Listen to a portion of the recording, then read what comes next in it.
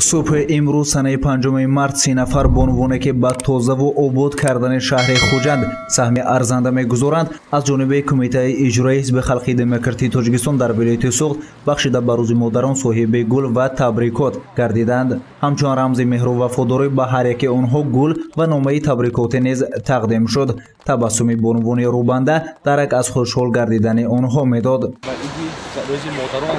fabrikada boşu. Baş mo sinirli salon var ki. Ki mo ami ahsari var var problem çünkü bunu tozdan metri daston dar nakuna. Bu mu dolma dolma diye yak şmanın boruzu o da fabrikada boşu. O da eziz ileton borak boşa. İleton borak boşa. Şman dünyada boşa. Rahmat. Rahmeti kalon. Başo rahmat. Lo'n baraga yo'lga rahmat. Hamma qo'ni qadarim o'dara rahmat. Tamomiy ва халқ ба ҳамаи занон ба умри дароз тани сиҳат хотири ҷамъ метиҳам худо ҳамаи кӯба нигоҳ дорад модароя фарзандои занҳоя нигоҳ дорад.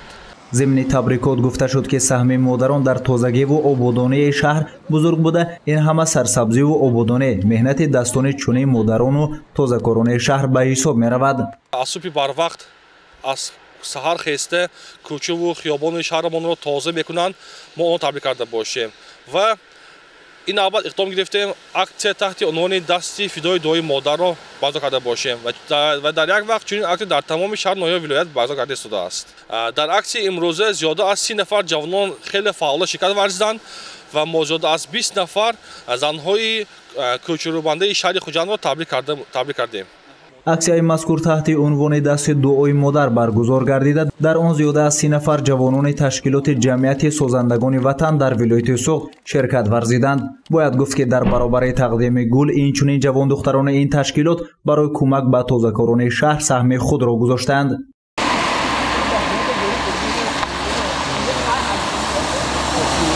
масъула дар кишвар санаи 8 март рӯзи модар таҷлил карда мешавад. Ин аксия низ дар доираи таҷлили рӯзи модарон. Доира гардида дар тамоми минтақаи вилоят гузаронидани чорабиниҳои идона идома дорад. Гузориши саид мухтори саиданвар наимҷон аюбов барои барномаи иттилоотии хабар